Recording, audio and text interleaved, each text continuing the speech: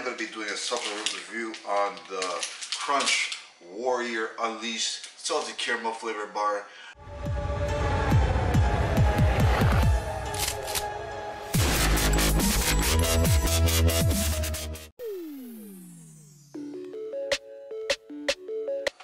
What's good, Flex Nation? It's your boy Curtis, aka Flex. Now, today I'm going to be doing a supplement review on the Crunch Warrior Unleashed Salty Caramel Flavor Bar. Uh, this is coming from the company, I believe, uh, Warrior Unleashed.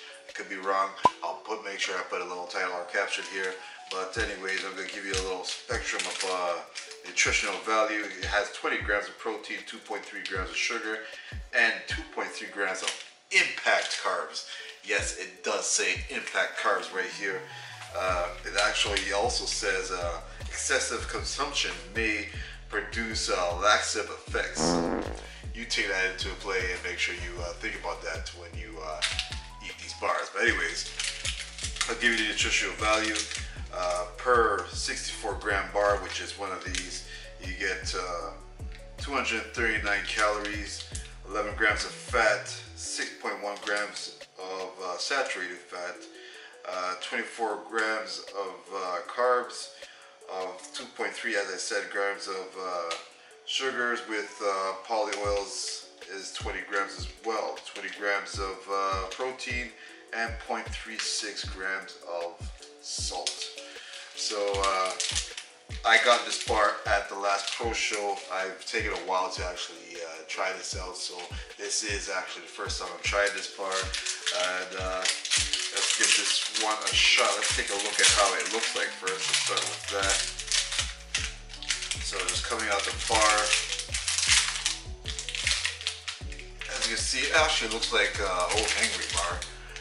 That is how it looks like. If you guys can see it, I hope you can. I am actually still using my uh, Sony camera that you guys know that I, if you saw my last video, I just grabbed myself a new uh, camera. But anyways, I used to use it a Sony camera and this uh, actually looks like a really good bar. I uh, got it for I think about 250. You Probably could get it for about three 299 to 399 in the stores. That's how much it is here in Canada. You do your conversion and see how it would be where you are located. But again, that's how much it costs here I'm gonna give you a little taste test and tell you how much, uh, how good it is.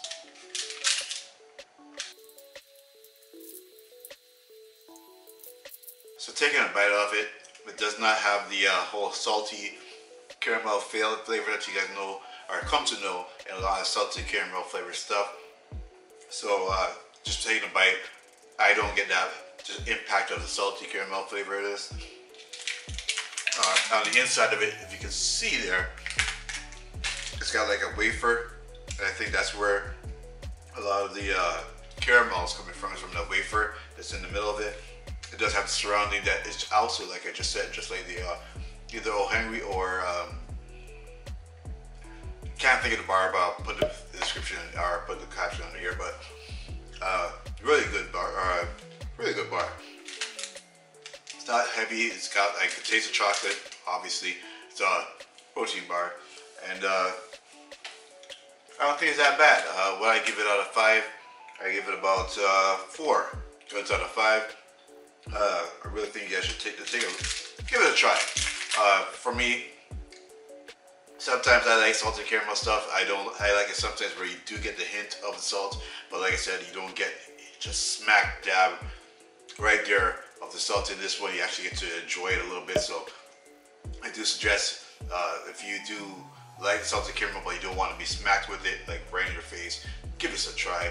See how you like it. And uh, in my impression, think that this would be a real good one to try.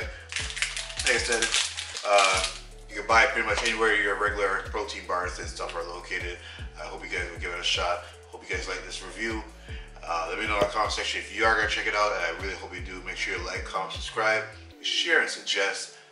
And always remember, guys, at the end of the day, to flex them guns. Bullet